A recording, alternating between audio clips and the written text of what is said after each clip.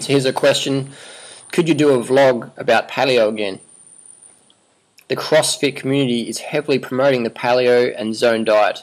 Their goal is optimal fitness. I was searching if there's any truth to it.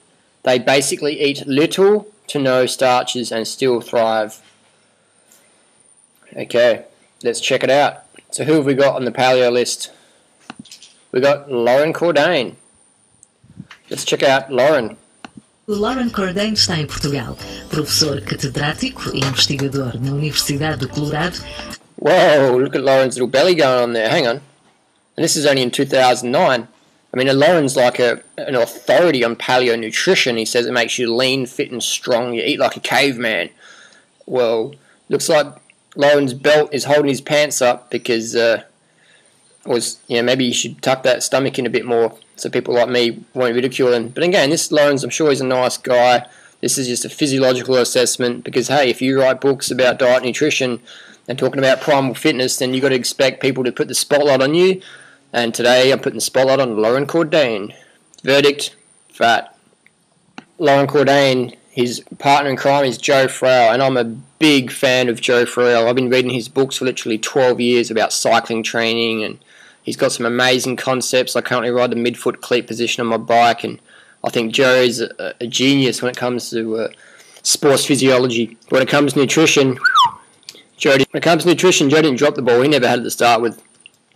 So basically, the premise is, you know, 10,000 years ago, we changed our diet, processed foods, you shouldn't eat them. And they go on about, yeah, you shouldn't eat processed foods, but you can buy commercial products such as Ultra Fit Recovery you know, don't eat processed food because that's bad, but this is good because we sell it, we make a commission, maybe, and then we've got, you can eat a banana, you know, or some little bit of glucose powder, such as Carbo Pro. But hey, you don't eat processed food, you know, so we're sending out mixed messages here. Then we've got protein powder, then we've got whey powder, we've got salt. I mean, paleo crew didn't have pinches of salt back in then, back in the day. The only sodium they got was from their food. It wasn't added so it's, uh, you know, again, very confusing. And now he says to consume non-optimal foods such as pasta, bread, bagels, rice, corn, other foods in rich in glucose. I mean, because you can't eat fruit. But perhaps you can. Perhaps the perfect stage four foods of raisins, potatoes, sweet potatoes, and yams.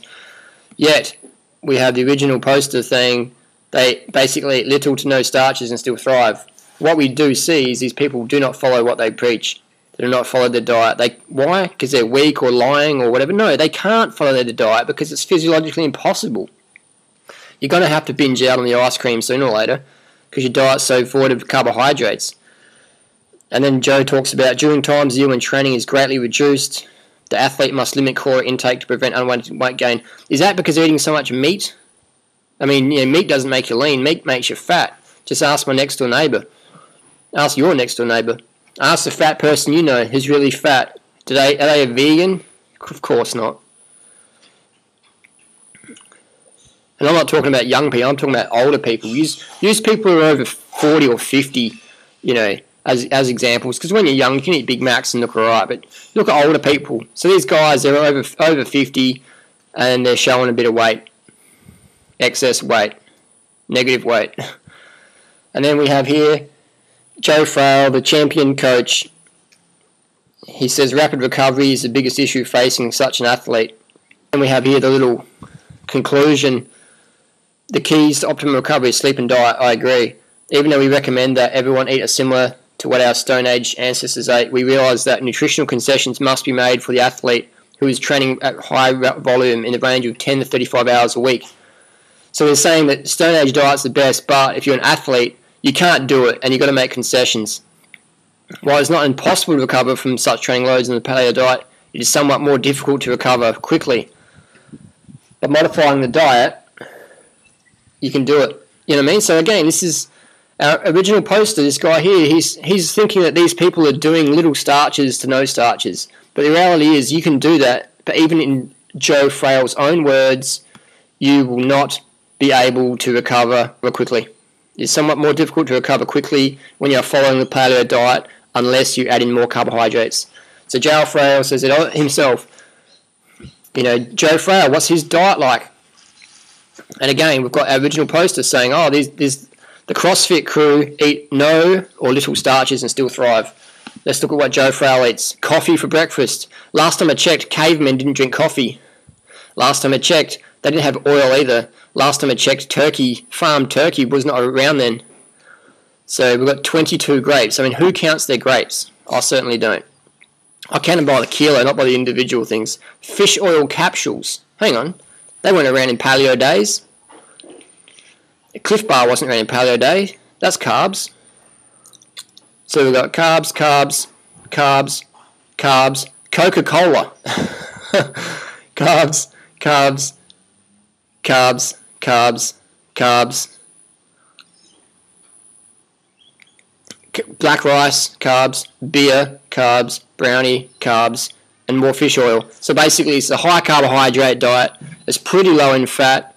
It's pretty low in protein as well. I've done the math on this one, and I came up with about 73% calories coming from carbohydrates, and it was about 15% roughly each for fat and protein in terms of total calories. So again, our original poster assumes they basically eat little and no starches and still thrive.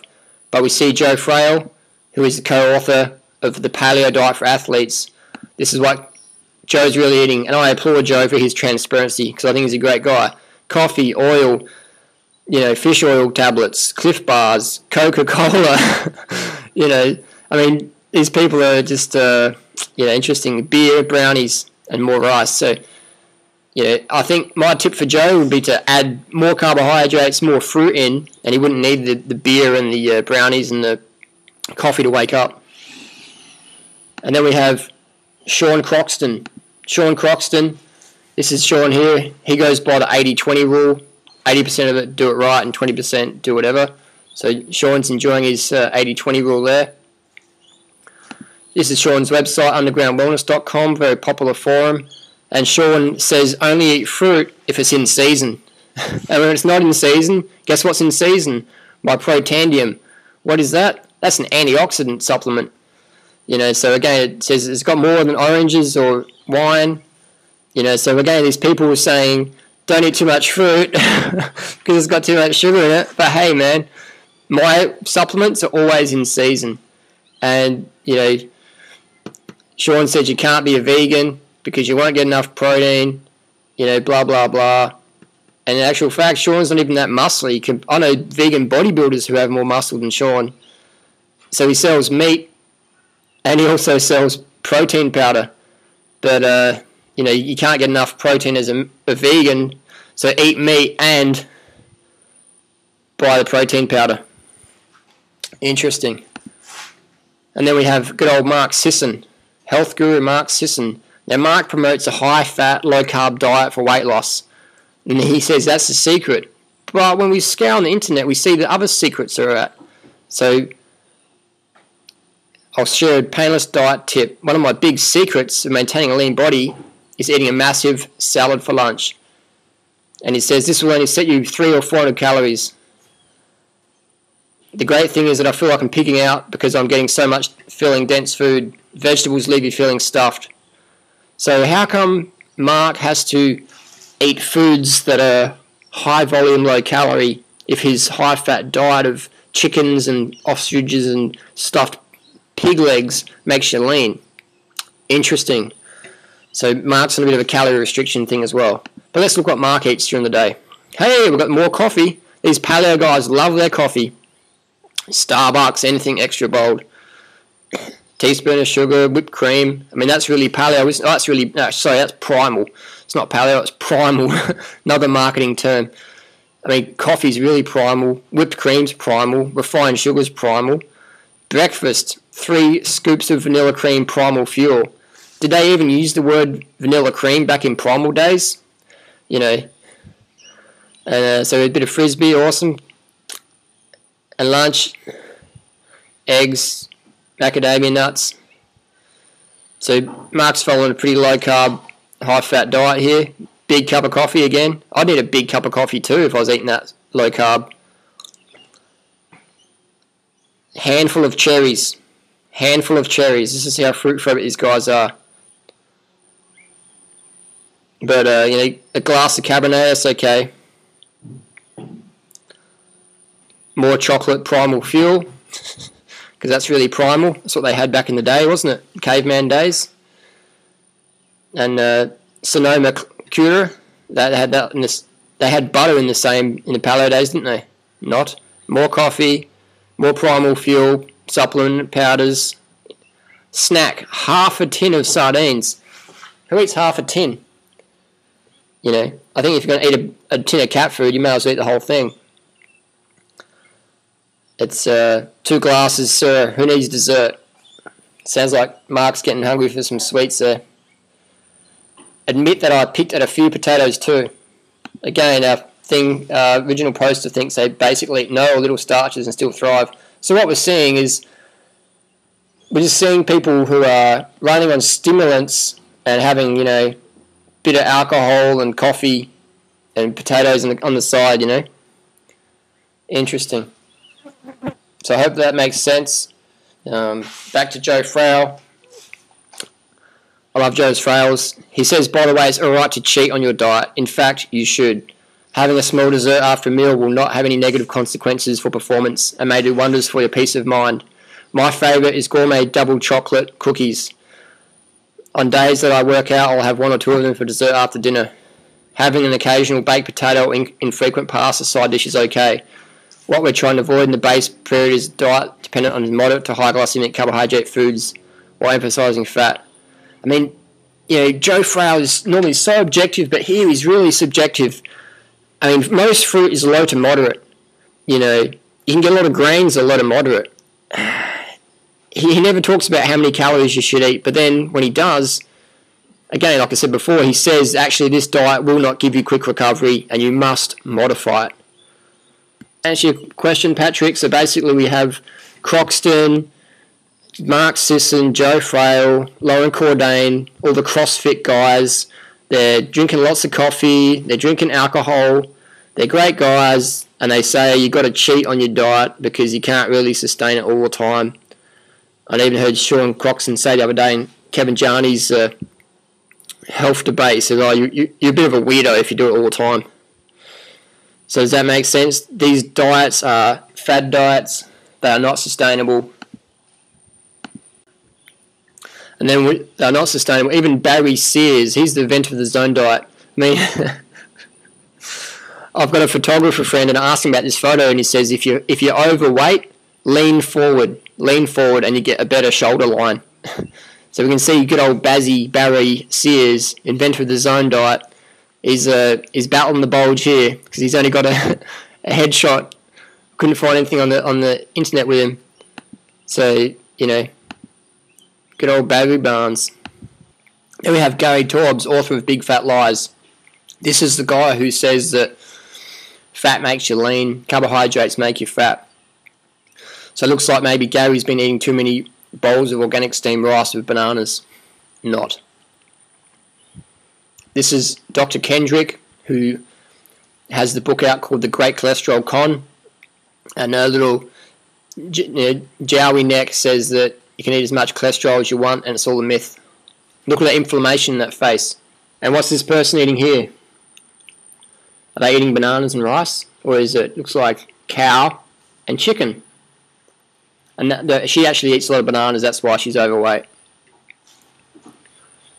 And these are the guys who make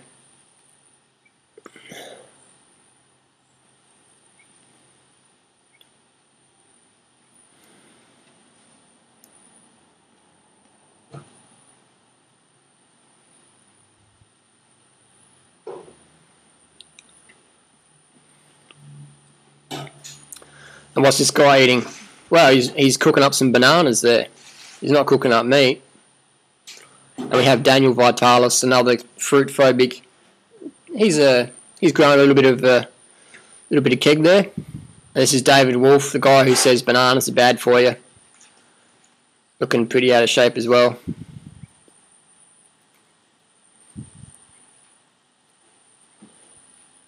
And then we have Sally Fallon, author president of the Weston Price Foundation, says that you should be eating lots of uh, animal fat.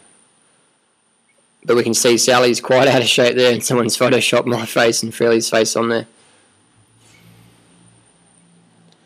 Susan Schenck, again, fruit's bad. Fruit makes you fat, and uh, stay away from carbohydrates. Eat more fat. And that's the that's the photo Sally Fallon puts on the back of a book. But this is what she really looks like. Big difference. Richard Johnson, another person who says fruit makes you fat, it's too much sugar. Dave Wolfe, looking a bit pudgy there, brother. Fruit's bad, don't eat bananas, got chocolate. This is a, a guy that's into raw foods, meat style, says fruit's bad. I'm not sure what to say about that one. Here's a paleo dinner. Because you can't, eat, can't be a vegan. Got to eat animal fat and protein and some vegetables there. And this is a casualty from someone working in the meat industry. Sliced fingers. Ouch.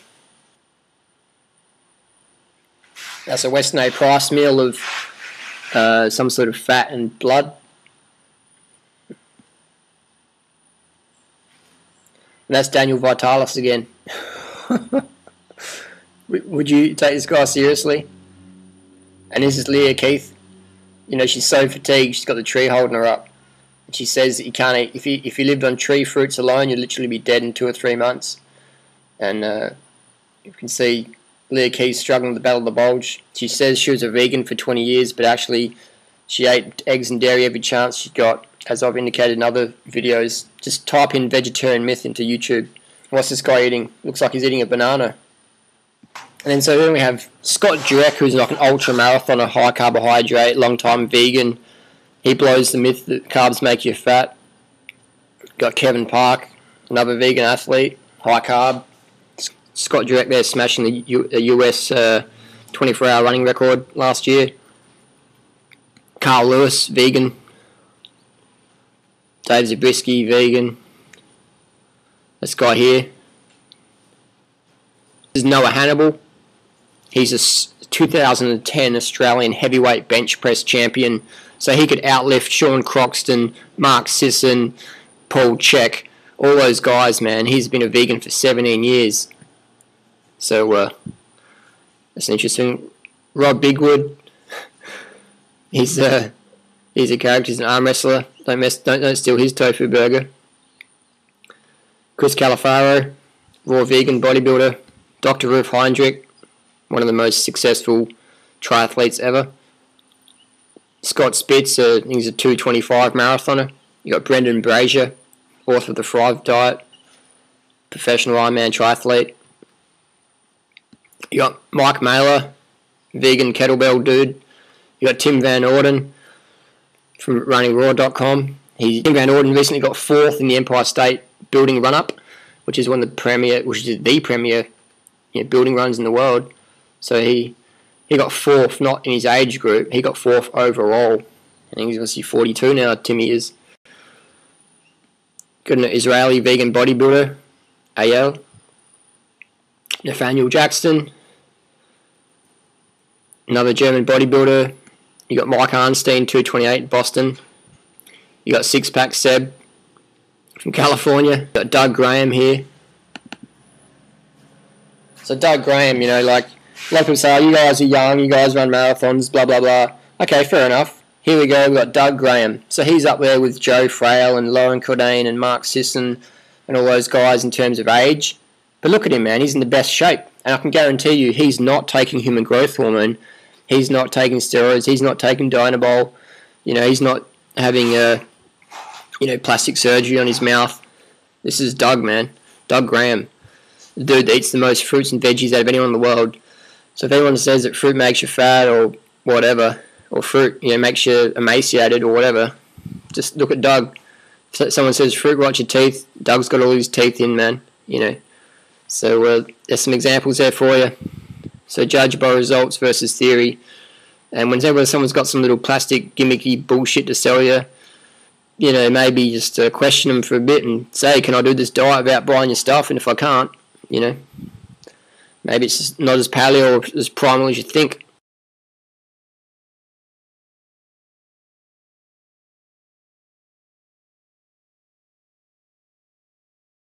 This is Rory Freedman, author of Skinny Bitch. This is Mac Danzig, who is a current UFC fighter and a vegan. This is Freelee when she was on a primal diet, paleo diet, Mercola style thing, metabolic typing, and this is her now.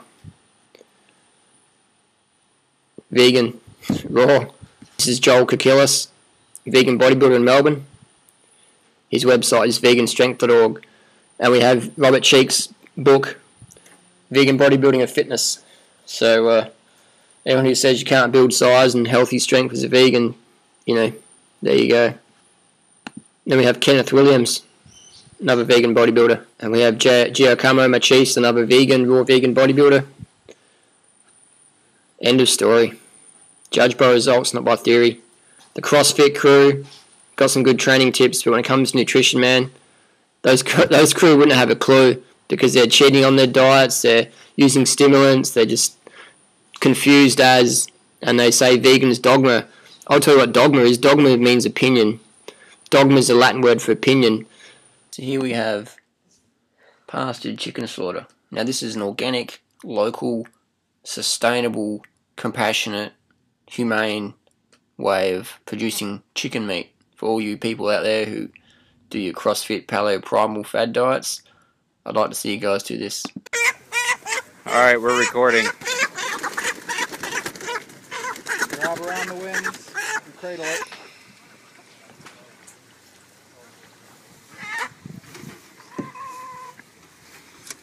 Oh, I've got him flipped around, don't I?